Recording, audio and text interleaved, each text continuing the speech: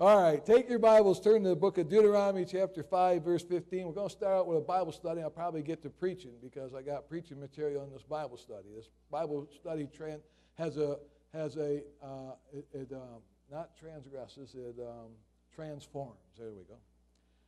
And remember that thou was a servant in the land of Egypt, and that the Lord thy God brought thee out, uh, brought thee out thence through a mighty hand and a stretched out arm. Therefore, the Lord thy God commanded thee to keep the Sabbath day. Let's open word of prayer. Heavenly Father, we thank you for the privilege to be a Christian. Father, we thank you for your goodness. God, once again, I pray it be the hidden man of the heart, that it exhort your people, it convict your people, that encourage your people, that edify your people, that your word would go out and not come back void. That, Father, it'd be your spirit to come out of me, that'd be the hidden man of the heart, that not be of my flesh and not be of my own minds and thoughts, but that your spirit would deal with your folks and give them what they need to help them. In Jesus' name we pray, amen. All right, we're in the Old Testament. We're in the book of Deuteronomy. It's the second law. That's what Deuteronomy means.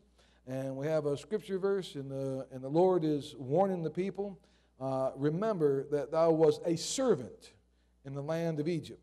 Now, that's what's missing today in our culture and society. Uh, the reason we're having so many economic and financial troubles is everybody wants to be a king, nobody wants to be a servant, nobody wants to do the right thing, everybody just wants to get rich and be glorified. That same thing I see happening a lot in the church and the ministry. And if you want God in your presence, if you want the presence of God, as Moses prayed for, uh, you need to humble yourself.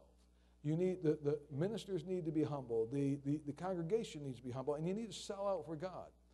Uh, I'm really sick of hearing this uh, sell out and go into ministry. You're in the ministry. You're in the ministry. You're supposed to be sold out now as a church member. That's a, that's a devil's lie to sell out and go into ministry like you're something special. You're supposed to be sold out now serving him as a servant. Every Jew that was in that congregation was a servant. They were told to remember that they were a servant. Now is the time to serve God, not, not tomorrow. And not when you're seeking personal glory. That's the problem with a lot of preachers today. They want to be recognized. They, they're not willing to go outside the camp the way the Lord Jesus Christ did. They're not willing to go over here and have everybody else laugh at them because they're faithful to the book, faithful to the Lord, faithful to holiness, faithful to righteousness. They just want to get up here and give you a nice message and get your attention. It's okay to do that. It's good to have people's attention. You ain't going to get anything across to anybody unless you got their attention. But there's more to it than just that, folks. It is significant that God's Ten Commandments are found twice in the Bible Exodus chapter 20, verse 3 through 17, and Deuteronomy chapter 5, verse 6 through 21. In fact, as I told you, Deuteronomy means the second law. The two are worded identically with a few exceptions. The most significant of these changes is in the connection with the reason given for obeying the fourth commandment to keep the Sabbath day. In Exodus, the reason is given is for in six days the Lord made heaven and earth and the sea and all that is in them and rested the seventh day. Now, pay attention. God speaks and God writes things as the Holy Spirit has him to write things. When he writes things in the scriptures, it's not a contradiction. There's a reason why God wrote it one way in the first law and another way in the second law because he's dealing with a nation. Your God is a living God. Your God is a God that deals with people in time. It's not a dead God. It's not the Lord is in his holy temple. It's he's alive. That book is alive. If you only read that book, you'd find out it's alive. It can make you mad. It can make you sad. It can make you glad. It can bring you a conviction. It can change you. It can form you. It can mold you. It can make a new creature out of you. But you don't read it. You don't realize what you're passing up.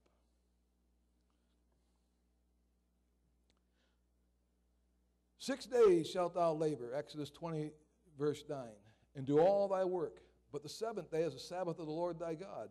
In it thou shalt not do any work, thou, nor thy sons, nor thy daughters, nor thy maidservants, nor thy cattle, nor thy stranger that is within thy gates. For in six days the Lord made heaven and earth and sea and all that is in them, and rested the seventh day. Wherefore the Lord blessed the Sabbath day and hallowed it. Now I want to show you how messed up man is.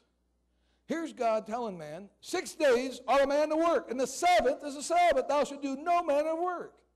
You got a lot of lazy folks today that won't get a job, won't go to work unless they get a job on Sunday. The one day you're not supposed to work.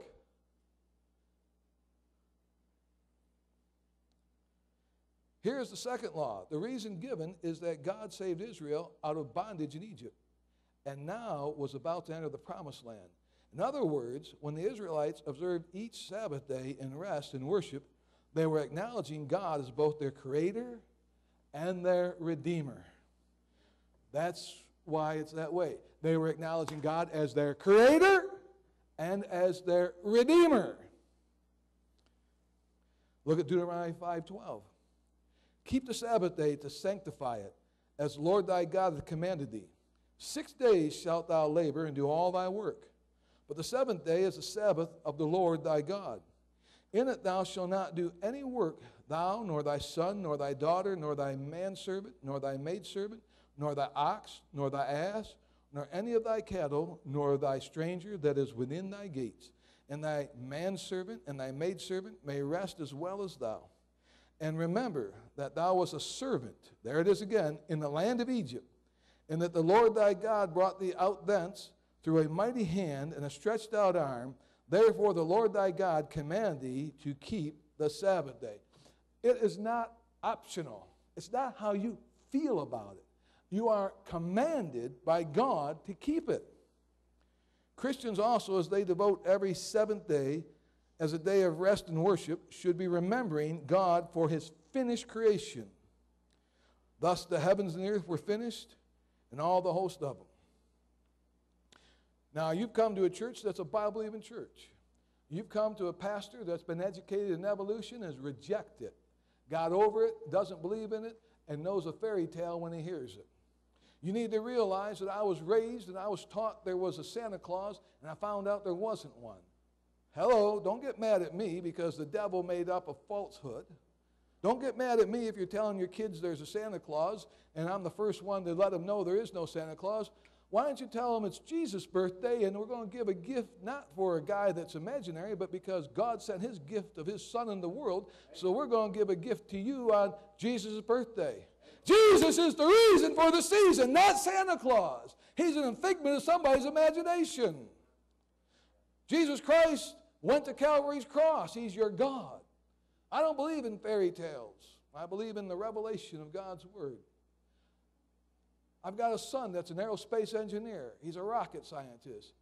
He doesn't believe in evolution. I got another son that's got a, a master's degree coming up, and his is in biology and, and in chemistry, and he doesn't believe in evolution. It isn't the smart people that don't believe in evolution, it's the stupid people that believe in evolution. Evolution can't work, never has worked, never will work.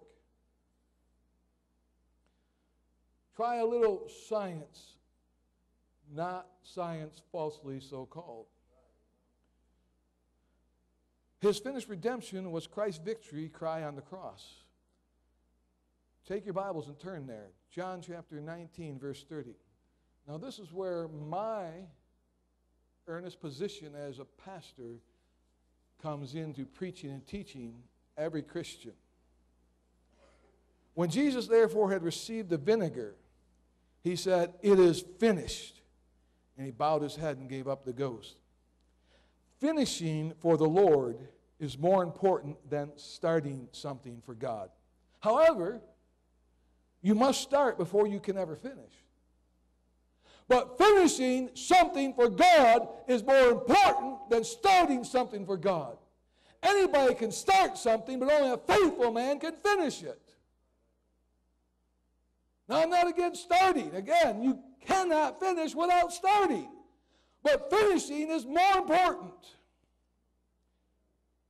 Better is the end of a thing than the beginning thereof. And the patient in spirit is better than the proud in spirit. That's why people can't finish things for God today. They're proud in spirit, they won't humble themselves. Now, I want you to understand where I'm coming from as your pastor, especially if you get called of God to preach and go into the ministry. I'm not against you getting called and preach and going into the ministry. I'm against you not finishing your calling.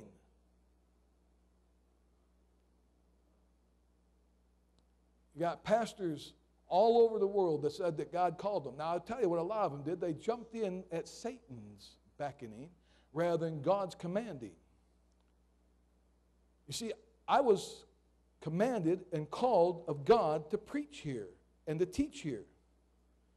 And I've been here for 32 years through hell and high water, through thick and thin, through good days and bad days, through discouraging days and days to quit and days to pack it up and go somewhere else. To look and see that the grass is greener on the other side of the fence. Because nobody mowed it on this side. That's why I mow the lawns now. They get done. This is a joke. But you see, if I quit, if I give up, then I am violating God's command. I am disobedient. I haven't finished it. When you start something for God, finish it. When you start something for God, finish it. God wants you to finish it. You say, Well, I didn't finish it. Now what? Well, you can't finish what you cannot finish. but you can start afresh and not finish, or finish, and you should finish the next time you start something for God. Like Jesus told the woman, Go and sin no more. Who condemns thee? No man. Neither do I condemn thee. Go and sin no more. She can't take back all her old sins. But she can start afresh and she can start finishing from now on. You can do the same thing. If you want to be the Lord's disciple, now this is not to ministers, but to Christians. And it follows through if God should call you into the ministry. But every Christian needs to be sold out. If you want to be the Lord's disciple, then you need to count the cost and not to be discouraged or defeated, but to know what you need to finish. Luke 14, 25. And there went great multitudes with him, and he turned and said unto them, If any man come to me, and hate not his father and mother and wife and children and brethren and sisters, yea, and his own life also, he cannot be my disciple. That's not for pastors, that's for every Christian. Are you a disciple? Well, if you want to be a disciple, you better count the cost. Whosoever did not bear his cross and come after me cannot be my disciple. If you want to be a disciple, you better get ready to bear the cross. You see, in being a disciple, God called me over here. And I tell you what, I had a good hundred times in the last 30 years that I wanted to quit. But I used to sing that song Must Jesus bear the cross alone and all the world go free? Oh, there's a cross for all to bear, and there's a cross for me. You want to be his disciple? You better get ready to take up the cross. For which you intend to build a tower, sit not down first and count the cost, whether you have sufficient to finish it. A lot of Christians do. Lest happily after he hath laid the foundation is not able to finish it, and all that behold it begin to mock him, saying, This man began to build and was not able to finish. Paul said, I have finished my course. I've run the race. Henceforth there's laid up for me a crown of righteousness.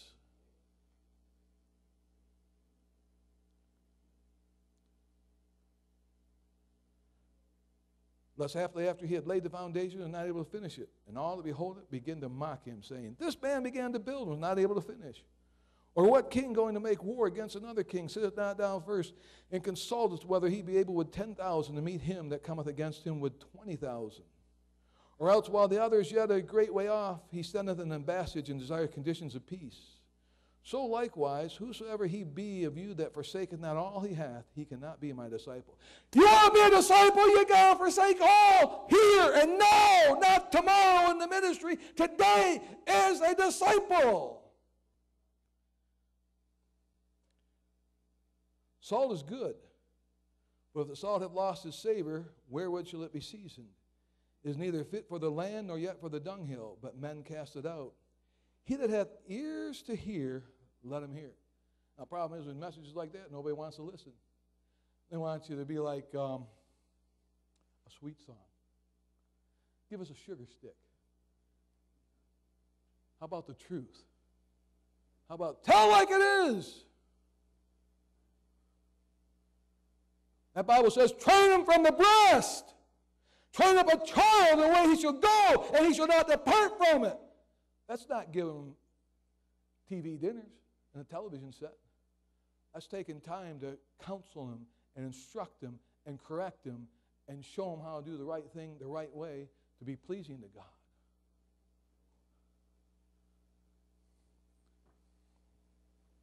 Abraham was a man of faith who is our pattern of faith. He counted the cost and was willing to pay it. Ecclesiastes says, When thou vowest a vow unto God, defer not to pay it, for he hath no pleasure in fools. Pay that which thou hast vowed. And so, well, God called me to preach. Were you preaching? Where are you preaching? Well, got tired. Lord didn't bless. Ran out of money. Church didn't operate. Some of the people didn't like me. Ah, no, no, no, no. Pay your vow.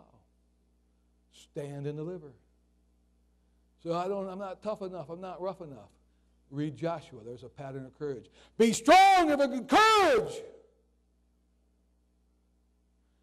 Well, yeah, but I didn't know if it really was that important. I mean, take Esther.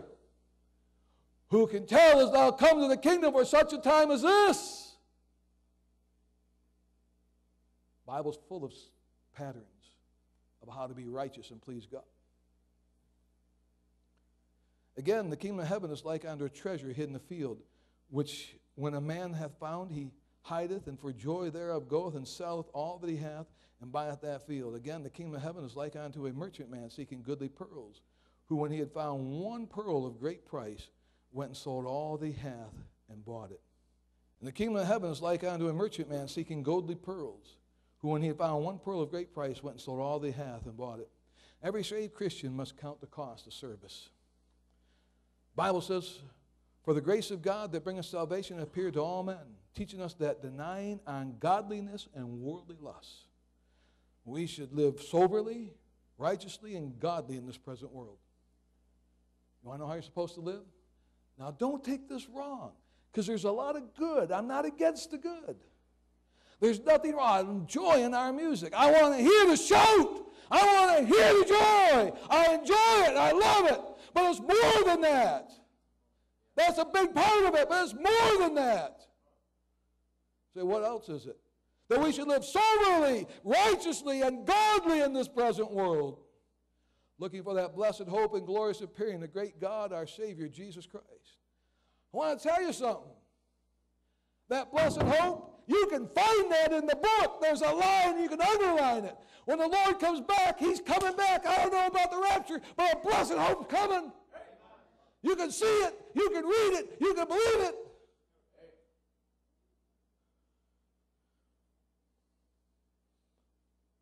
Who gave himself for us that he might redeem us from all iniquity and purify in himself a peculiar people, zealous of good works. Be zealous for good works, works that please God. These things speak and exhort and rebuke with all authority. You say, boy, preacher, why are you getting so frisky? It said rebuke with all authority. Read it. Sober, righteous, godly in this present world. Blessed hope. He's coming back, and I hope he is, and I know he is because of the blessed hope he is. I don't need a rapture. I got a blessed hope. I got something tangible and real, not a pipe dream. I got written words from a living God of his return to me.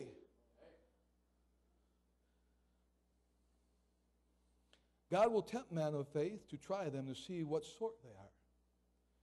And it came to pass, Genesis 22 1, after these things that God did tempt Abraham and said unto him, Abraham, and he said, Behold, here am I.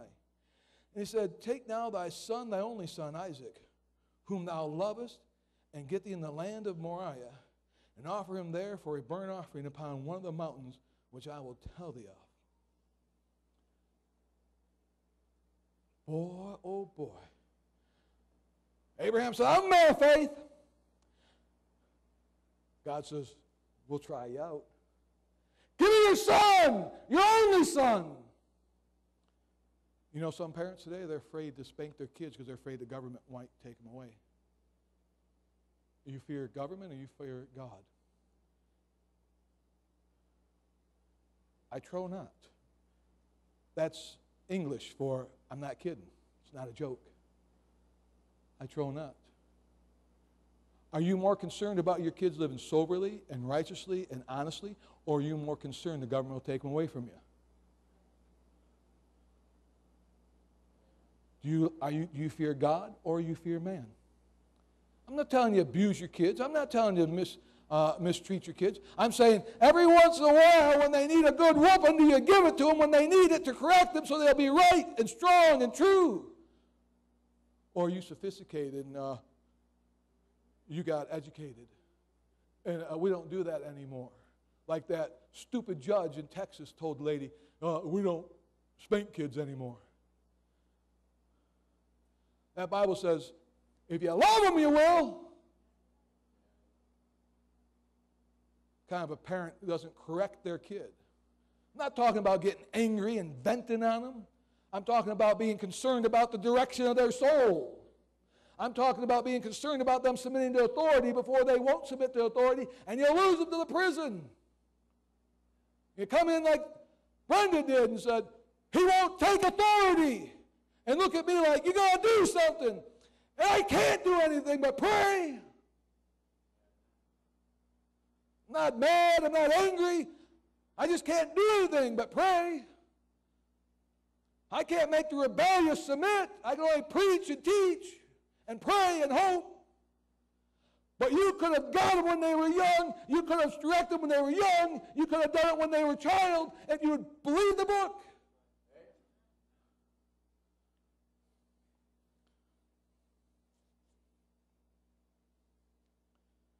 God does not tempt men with evil, though. However, he does tempt us. And Abraham rose up early in the morning and saddled his ass, took two of his young men with him, and Isaac his son, and clave the wood for the burnt offering, and rose up and went to the place which God had told him. Now, the ass is a burden carrier. And I told you about that ass. That animal's something. You look down from above, you look down on the back of that ass, he's got a, a black streak going down his back, and it goes from shoulder to shoulder. You look down from heaven on the ass, he's got a cross. He carries a burden. You're supposed to have a cross. Jesus said, except you, you got to bear a cross. Well, preacher, do you realize what you're saying? That if I start bearing a cross and you're using an ass, that somebody might say that I was an ass. Say it about me all the time. I said they say it about me all the time. Probably some of you have. Hope not. But I know the world has. I've had them say it to my face. I look right and say, You're an ass. I got a cross on the back. I bear burdens for God. I guess I am. What's the matter? Are you too proud? What about that proud spirit?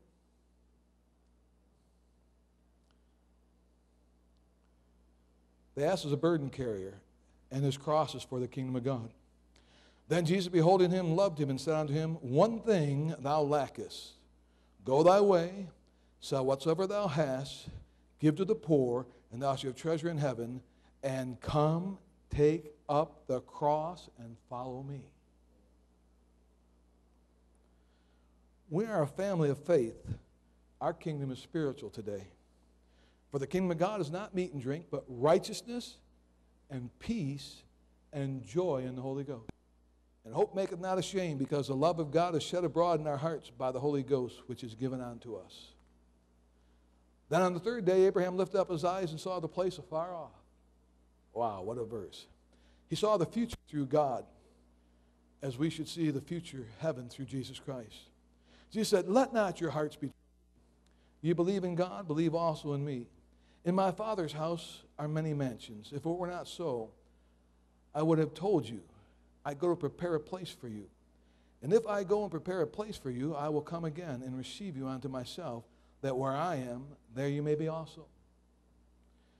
Now, throughout life, you always come up with the argument long engagements or short engagements. That's not the true issue of courtship. You see, the man should be preparing a place for his bride, not pining for her. A man should be preparing a place for his bride.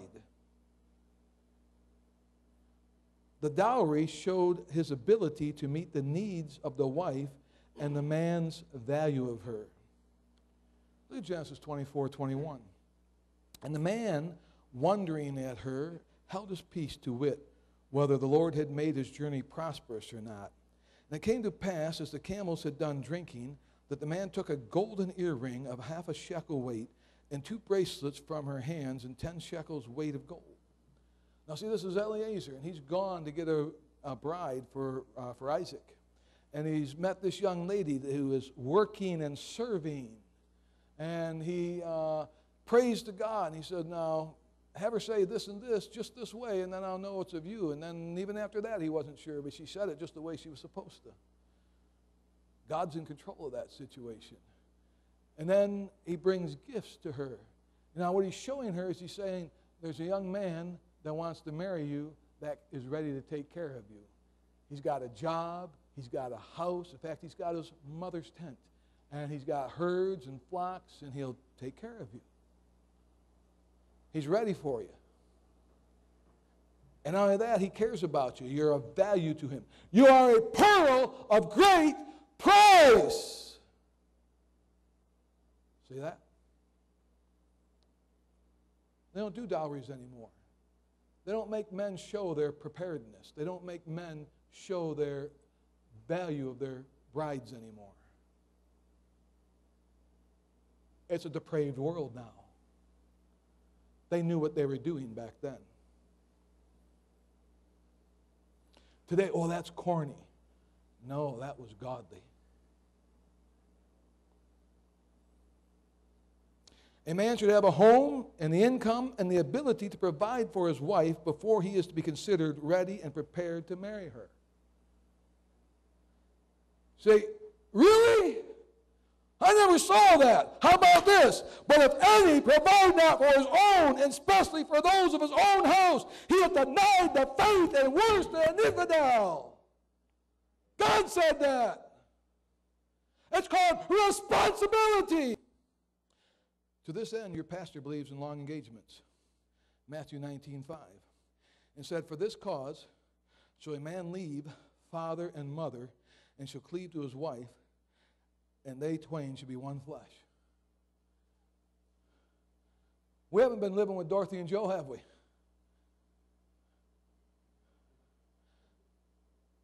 None of my kids, once they left our house, ever got any more support from their father.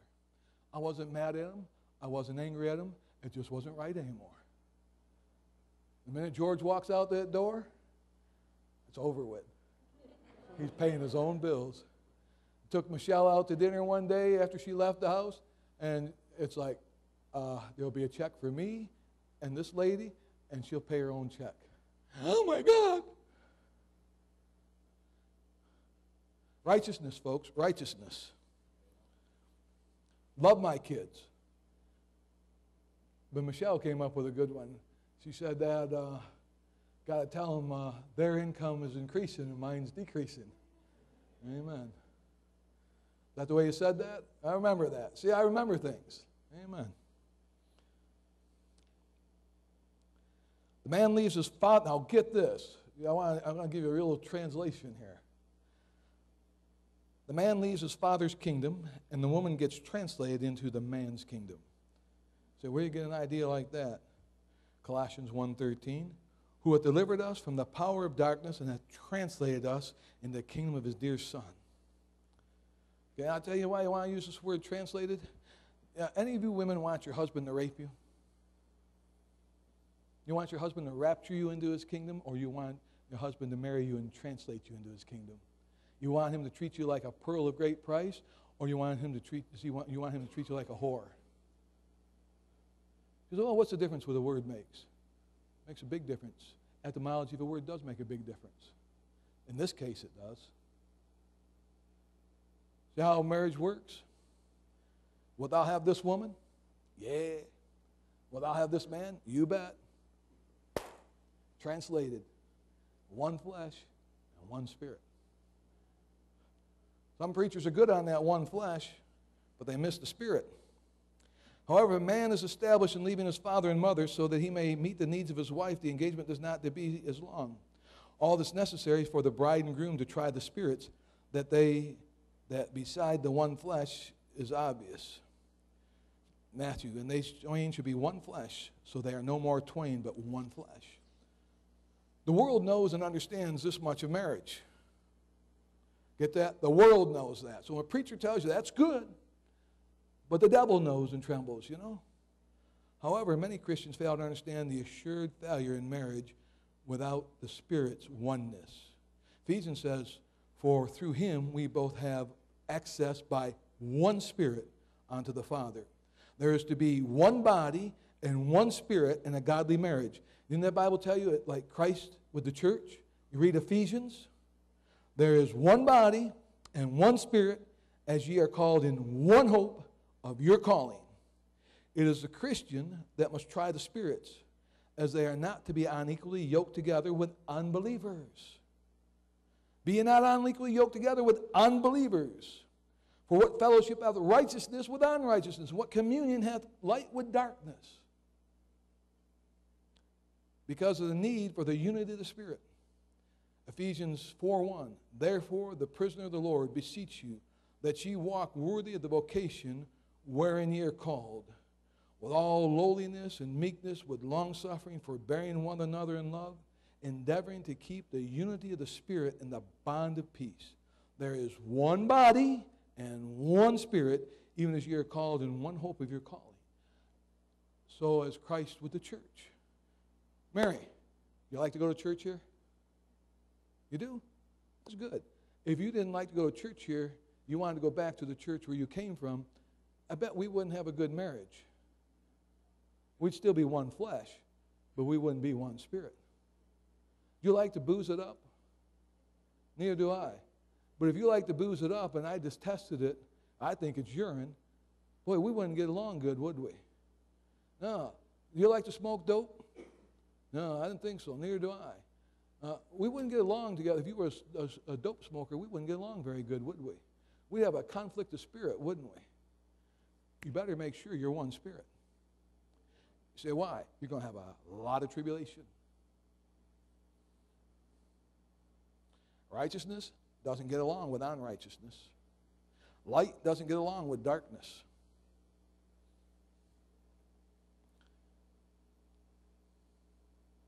I will place both a saved and lost person in the unbeliever's position when the saved person is not walking in the Spirit. You always get this thing. The Bible says, without unbelieving, depart. Well, then I say, well, if they're saved, I don't care whether they're saved or lost, they're not believing what the Word said. When you can, hello, how many of you have disobeyed the Word in your life? Then you've been unbelieving, even though you were saved, right? You betcha. You think I want to stay married to her if she starts smoking dope, drinking booze, going to a heathen church, and running after other men? Now, I won't divorce her, but I know she'll leave me pretty soon. You say, why? Because I'll start preaching to her. Except you repent! I say, it ain't right what you're doing. God doesn't approve of it. She'll get sick of me. She'll say, I'm out of here. Gone, baby, gone. I won't leave her. She'll leave me. I guarantee you. She'll be the sinner. You know what I'll do, though, first? You know what Christians can't get out of a bad marriage? They won't forgive their spouse. So God lets them stay together in misery. You want to get rid of a bad wife or a bad husband? Forgive them from the heart and ask God to deal with them. He'll either get them right or he'll get rid of them for you, and you can trust the Lord will do that. But most people won't forgive their spouse. Now think about it. Your spouse commits adultery on you. Forgive them. I know it hurts. I know it's awful. Then pray, Lord, I forgave him. I want no vengeance. I don't want to retaliate. I just want it to be righteous again that person either repent and get right or God will get rid of them for you. Oh, happy day. If the unbelieving depart, let them depart. Our brother and sister is not under bondage in any such case. But you got to forgive them first. You can't have malice in your heart. You can't be looking for vindictive vengeance. Vengeance is mine, saith the Lord, I will repay.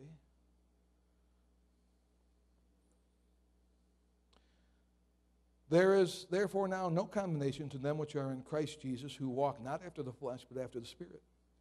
But say, born again Christian will not walk in the Spirit, you cannot have the righteousness of the law fulfilled. That's what it says, that the righteousness of the law might be fulfilled in us, who walk not after the flesh, but after the Spirit. First John, beloved, believe not every spirit, but try the spirits whether they are of God, because many false prophets are gone in the world. Hereby know ye the Spirit of God. Every spirit that confesses that Jesus Christ is come in the flesh is of God. For the fruit of the do you ever stop and think about come in the flesh, what that means? That means Emmanuel, God with us. That also means Christ in you, the hope of glory. For the fruit of the Spirit is, watch, in all goodness and righteousness and truth. Behold, a virgin shall be with child, shall bring forth a son, and they shall call his name Emmanuel, which being interpreted is God with us. Colossians 1:27, to whom God would make known what is the riches of the glory of this mystery among the Gentiles, which is Christ in you, the hope of glory. Those who continually, cordially, and firmly to hold and support that fundamental article of Christianity that Jesus is the Christ would have the Spirit abide with them, whereas those who deny and oppose the article could not possibly possess the Spirit of Christ, which is the Spirit of truth. You know what a sinner doesn't want? He doesn't want light and God showing up. You know, I don't remember, I don't know what they call these things now. I was a kid. They used to call it the scene. You know what they would never want the scene? Is for me to come down here and preach this message. They say, Get him out of here. Get that nut out of here. He's possessed. The scene, that's where all the young folks went and, and, and acted like whores and drank like drunkards and smoked dope like dopeheads. That's the scene. They say, Oh my God! They call it, they invoke God to get rid of me.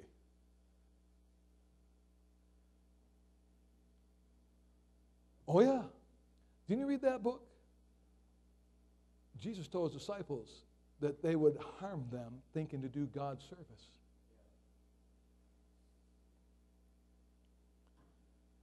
But ye are not in the flesh, but in the Spirit. If so be the Spirit of God dwelleth in you. Now, if any man have not the Spirit of Christ, he's none of his. Some have argued that the Pope cannot be the Antichrist because he confesses Christ and that it must necessarily be some entirely opposing person or sect which does not bear the Christian name. But it should be considered that popery is an usurpation entirely inconsistent with due homage to Jesus Christ and founded upon principles most opposite to those of his government and biblical doctrine. It is said to have been already in the world as an ambiguous, imposing, persecuting spirit, which is the very essence of anti Christianism and did very much prevail throughout history.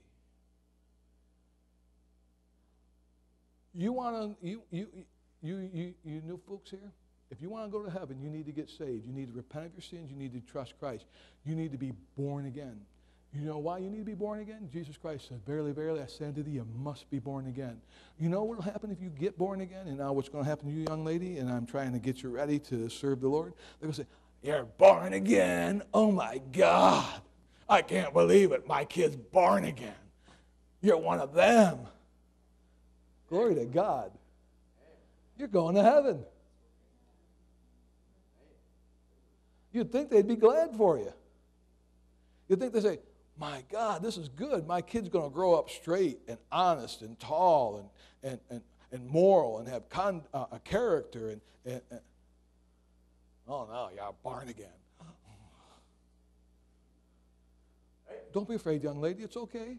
Jesus will get you through it. Once you grow past that, you'll count it all joy. You know what my best compliments have been? Has been when people got angry at me. I went to, I went to my, let me tell you about it. I went to my brother in law's house one time, and he, he was watching Jerry Falwell on TV. And I said, if you like to watch Jerry Falwell, then come on down to our church. He said, oh, no, I'm not coming down to your church. I said, well, why not? He said, because you believe it. Said, Amen.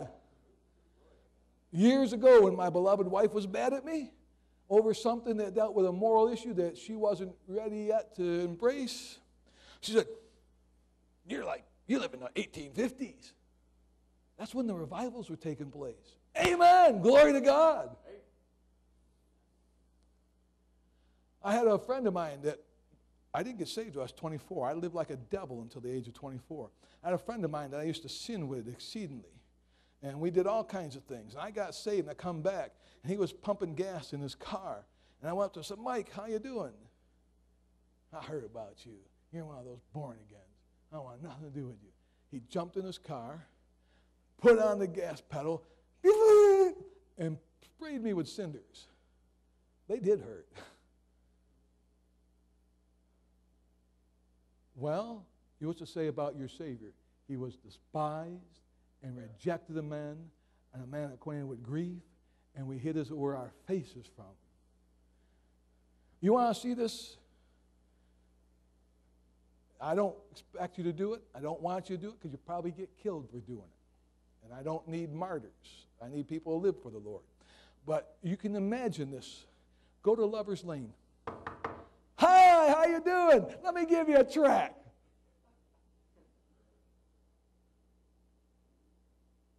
What, you think, oh, glory to God, the preacher man's here. We're going to get saved. We're not going to live this debauchery anymore.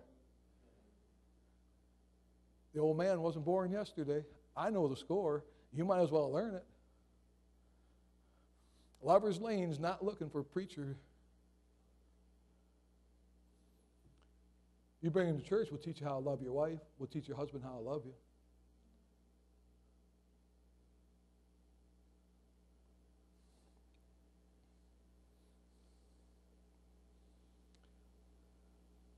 However, saved saints have their spells of living in the flesh as unbelievers, and like the infidel, they often refuse to submit to Christ. That's a terrible shame, isn't it? I mean, some of you out there, you're saved, you're saved, you've been bought with blood, you were told, don't be the servants of men, and you're just not going to follow. Know ye not that to whom ye yield yourselves servants to obey, his servants ye are, to whom ye obey, whether sin unto death or disobedience, or excuse me, or obedience unto righteousness? Now, where do I get such a doctrine to place saved saints in the same category as unbelievers? Now, listen to me. I'm not talking about, I'm not sending any saved saint to hell. I'm not God. What I'm saying is, if you act like the world, and you walk like the world, and you live like the world, I'm going to treat you like the world. You want me to treat you like a spirit filled Christian? Then live like a spirit filled Christian. Walk like a spirit filled Christian. Talk like a spirit filled Christian. You're going to come here and act like the devil? I'm going to treat you like the devil. So, how you treat the devil? Get these hands! I don't want a devil hanging around me. I'm a paranoid schizophrenic. I've got Jesus Christ living in me. I don't like devils coming around.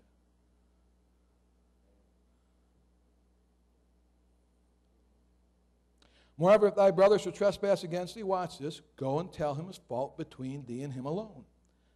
If he shall hear thee, thou hast gained thy brother. But if he will not hear thee, then take with thee one or two more, that in the mouth of two or three witnesses every word may be established.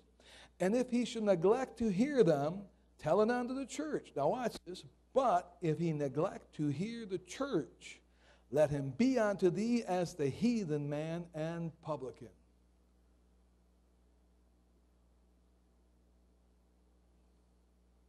Scriptural. It's impossible to make people do right outside of the Bible or the bayonet. It's impossible to make people do right outside the Bible and the bayonet. I can give you the book, preach to you, and the Holy Spirit can convict you and change you and reform you and remake you, and you do right. Or I can take a gun and put it to your head and say, Do right or I'll kill you. That's the only two ways to change a person. Say, why is that? A man convinced against his will, he's of the same opinion still. Now, I got to tell you something. I'm not allowed to use guns. For the weapon of our warfare are not carnal, but mighty through God to the pulling down strongholds. I can preach, I can teach, and I can pray. That's all I can do for you. I can preach to you, I can teach you, and I can pray for you. And Abraham said unto these young men, Abide here with the ass, and I and the lad will go yonder and worship and come again to you. I was going to read that to you this way. And Abraham said unto these young men, Abide here with the cross, and I and the lad will go yonder and worship and come to you again. Hebrews, I read that wrong, come again to you. Looking unto Jesus, the author and finisher of our faith, who for the joy that was set before him endured the cross, despised the shame, and sat down at the right hand of the throne of God. Amen. You know, someday we're going to be in a kingdom wherein dwelleth righteousness, where God is in complete control. And everybody's going to agree. God's going to say something, and we're all say, Amen. We're all going to agree, and there ain't going to be any dispute or argument. I am going to a city where the roses always bloom. There's prepared for me a city. There'll be no crepe on the doorknobs. No funeral parlor there. just truth and justice and righteousness and holiness and godliness. And that excites your soul? Do you want such a place? Are you desiring for such a place? I can't wait. Even so, come, Lord Jesus. Now, I want you to get this down. I'm full of joy. I enjoy living, I enjoy life. It isn't to get out life that I want Jesus Christ to come back, it's to get out death. It's to meet my Savior.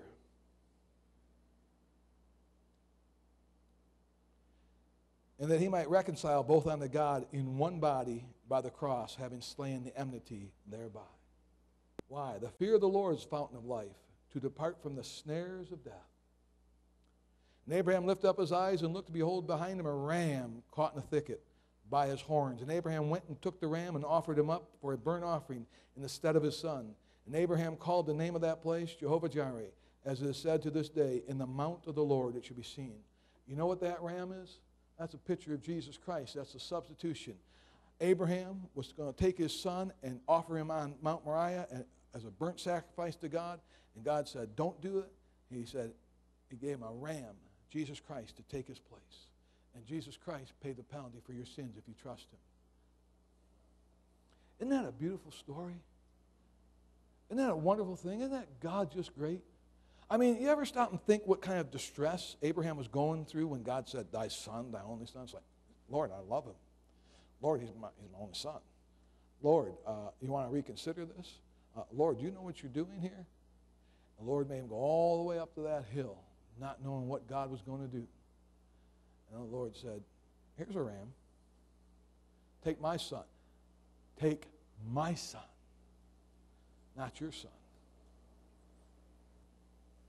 Today, the Mount of the Lord of the Potter's House is any local Bible believing church congregation where two or more are gathered in faith and they meet on the first day of the week.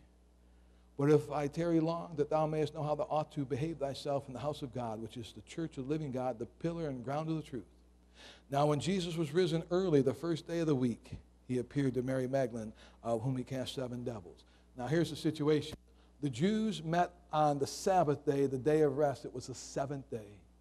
And people say, well, well, then why does the church do it on Sunday?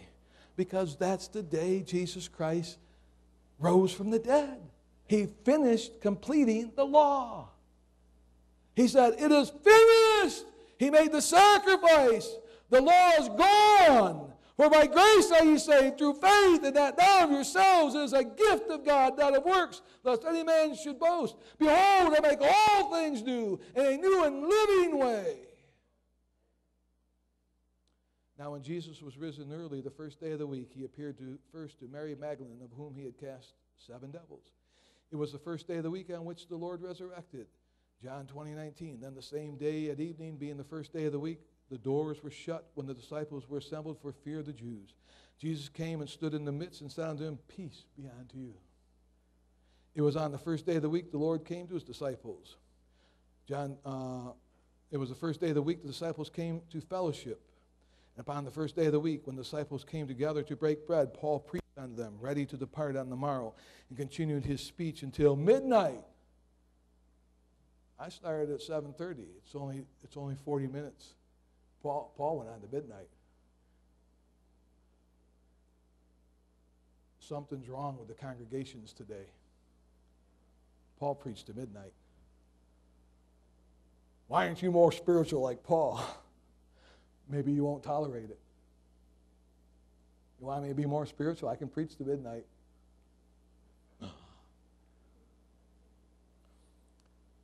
It's a personal joke. It was the first day of the week when the disciples took up their offering. Upon the first day of the week, let every one of you lay by him in store as God hath prospered him, and there be no gatherings when I come. Boy, I tell you, I'm glad the law is passed. It's a new day. Young lady, I hope I haven't frightened you, scared you, but you got a whole new life ahead of you now. It's a new day. You can live for God. You can learn to do righteousness and truth and justice and every good thing. You got a whole new day ahead of you. It's wonderful.